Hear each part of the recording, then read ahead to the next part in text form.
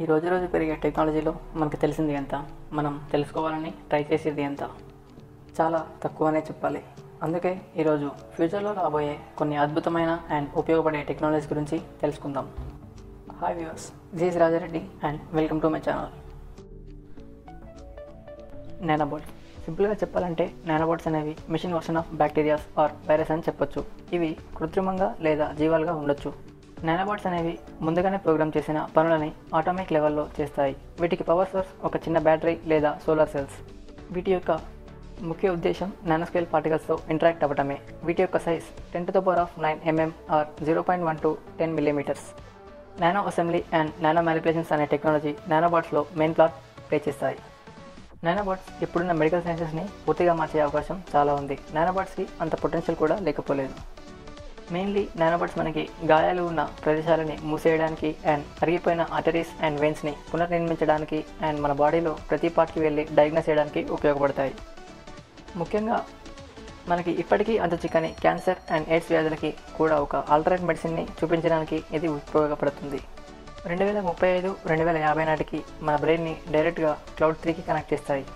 అలా కనెక్ట్ చేయడం వల్ల మన నర్వస్ సిస్టమ్ యొక్క వర్చువల్ రియాలిటీ ఇమేజ్ని మనం స్మార్ట్ ఫోన్లో చూసుకున్నట్టుగానే చూసుకోవచ్చు. ఇలా చేసి మన బ్రెయిన్ నియోకాటెక్స్ని క్లౌడ్లో ఇంప్రూవ్ చేసుకోవచ్చు. అండ్ మనం ఇంకా మెమొరీ రిలేటెడ్ ఇష్యూస్ నుంచి కూడా బయటపడవచ్చు ఓన్లీ మెడికల్ సైన్స్లోనే కాకుండా aerospace security defence electronics and environment ప్రొటెక్షన్లో nanobots అనేవి చాలా ముఖ్య పాత్ర పోషిస్తాయి. ఇది ఎలా పాసిబుల్ అని ఆలోచన మీకు వచ్చి ఉండొచ్చు. Everything is possible until you try to make it possible ఈ టెక్నాలజీని Elon Musk a famous person and a founder of PayPal Tesla and SpaceX కనిపెట్టారు సింపుల్గా ఈ టెక్నాలజీని హైపర్ లూప్ అని అనొచ్చు. జస్ట్ ఇమాజిన్ ఒక స్వరంగంలో కమర్షియల్ జెట్ స్పీడ్తో ప్రయాణం చేస్తే ఎలా ఉంటుందో అని. ఆ ఇమాజినేషన్ త్వరలోనే మన కళ్ళ ముందుకి రాబోతుంది. వందల అరవై మైళ్ళ వేగంతో ప్యాసింజర్స్ ఈ ట్రైన్లో ప్రయాణించవచ్చు అండ్ ఈ టెక్నాలజీ వాక్యూమ్ ట్యూబ్లో కంప్రెస్డ్ ఎయిర్ అండ్ ఇండక్షన్ మోటార్స్తో జరుగుతుంది. ఇప్పుడు అమెరికాలో టెస్టన్స్ కూడా జరుగుతున్నాయి. అండ్ కమింగ్ టూ ఇయర్స్లో మనం విట్నెస్ కూడా చేయొచ్చు. అండ్ మోర్ ఇంపార్టెంట్లీ ఈ టెక్నాలజీ వస్తే ఫోర్ హండ్రెడ్ ప్లస్ మైల్స్ని కేవలం థర్టీ మినిట్స్లో చేరుకోవచ్చు. రీఇన్కర్నేషన్ అంటే పునర్జన్మ. చనిపోయిన మన కుటుంబ సభ్యులని తిరిగి ఆర్టిఫిషియల్ ఇంటెలిజెన్స్ ద్వారా పునర్జన్మించేలా చేయటమే ఈ రీఇన్కర్నేషన్ త్రూ ఏఐ టెక్నాలజీ ఈ టెక్నాలజీ ద్వారా మనం చనిపోయిన వారి డిఎన్ఏతో వారి వర్చువల్ వెర్షన్ని క్రియేట్ చేయొచ్చు. అండ్ మీకు ఈ టాపిక్ గురించి పూర్తిగా తెలుసుకోవాలంటే ద డిస్కవరీ మూవీ చూడండి.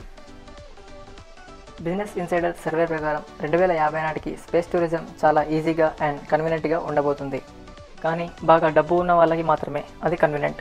Rocket companies like Jeff Bezos Blue Origin and Elon Musk SpaceX ఈ స్పేస్ ట్రావెల్ని సాధ్యం చేయబోతున్నాయి. స్పేస్ ట్రావెల్ చేయాలంటే అది కూడా ఒక వారం రోజులు ఆర్బిట్లో గడపాలంటే సుమారుగా హండ్రెడ్ మిలియన్ క్విట్స్ స్పెండ్ చేయాల్సి ఉంటుంది.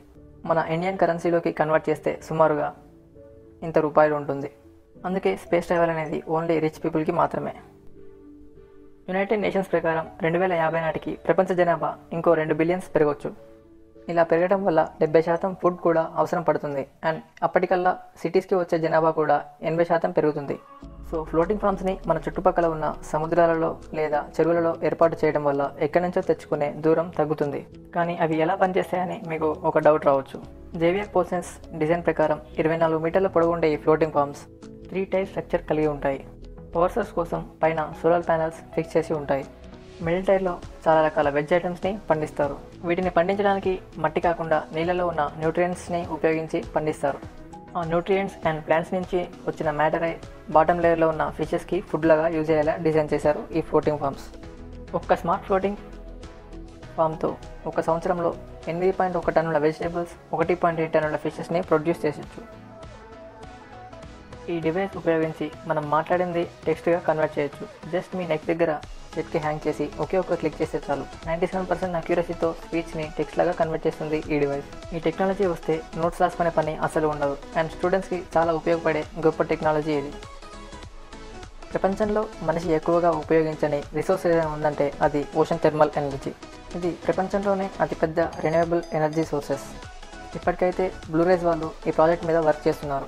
ఓషన్ థెర్మల్ ఎనర్జీ కన్వర్షన్ ద్వారా యూటిలిటీ స్కేల్ ఎలక్ట్రిసిటీని జనరేట్ చేసి ఎనర్జీ బ్రేక్ త్రూ చేయడమే ఈ ప్రాజెక్ట్. ఫ్యూచర్లో ఖచ్చితంగా ఈ టెక్నాలజీ ఒక క్రూషియల్ రోల్ ప్లే చేయబోతుంది. అండ్ ఇప్పుడున్న ఫ్యాజల్ ఫ్యూయల్ జనరేషన్ అండ్ వేరే రెన్యూవబుల్ సోర్సెస్ని కూడా ఇది అవుట్ కంప్లీట్ చేయొచ్చు. ఎందుకంటే ఈ ఎనర్జీ పగలు రాత్రి అండ్ మొత్తం సంవత్సరం ఉంటుంది కాబట్టి. ఫ్యూచర్లో ఫారెస్ట్ మనకి పవర్ స్టేషన్స్ లాగా యూజ్ అవుతాయి. Bio a cleantech company plants యొక్క ఫోటోసింథసిస్ ప్రాసెస్తో ఎలక్ట్రిసిటీని జనరేట్ చేసే ఎక్స్పెరిమెంట్ చేస్తున్నారు.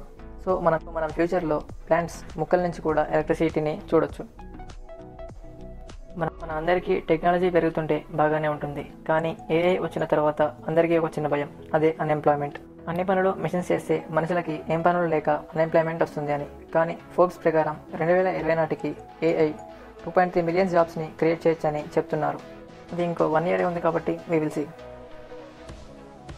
IoT internet of things రెండు వేల ఇరవై నాటికి తొంభై శాతం ఎలక్ట్రానిక్స్ని కొత్తగా డిజైన్ చేస్తుంది. రెండు వేల యాభై నాటికి మొత్తం క్లౌడ్ అండ్ ఇంటర్నెట్ని కలిపేస్తుంది. ఇలా చేయటం వల్ల మొత్తం ఇన్ఫర్మేషన్ ఇంటర్నెట్లోనే ఉంటుంది. Like all round in Avengers.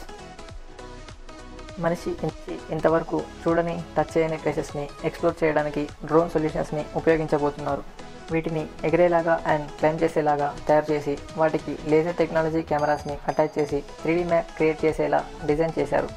So వీటి వల్ల మనిషి ఇంతవరకు ఎక్స్ప్లోర్ చేయని ఎన్నో ప్రదేశాలను ఎక్స్ప్లోర్ చేయొచ్చు. మీరు ఫోన్లో చూసే అండ్ చేసే పనులు కొన్ని మనం డైరెక్ట్గా ఈ గ్లాసెస్తో చేసేయచ్చు. For example making calls transmit music navigation and etcetera just touch and గెస్చర్స్తో ఈ స్మార్ట్ గ్లాసెస్ని మనం కంట్రోల్ చేయొచ్చు. Smart glasses both sight and sun glasses లాగా రావచ్చు ఫ్యూచర్లో. మీ అందరికీ ఈ టెక్నాలజీ గురించి తెలుసు. కానీ ఈ టెక్నాలజీ వస్తే మనకి ఎంత టైం సేవ్ అవుతుందో తెలుసా? అప్రాక్సిమేట్లీ ముప్పై ఐదు వేల గంటలు పైనే. అండ్ ఈ టెక్నాలజీ పూర్తి స్థాయిలో వస్తే అసలు యాక్సిడెంట్స్ అనేవి పూర్తిగా తగ్గిపోతాయి. ఇన్ని టెక్నాలజీస్ గురించి చెప్పాడు. కొన్ని మాత్రమే మనం చూడగలం. మనకి ఎందుకని అనుకోవద్దు.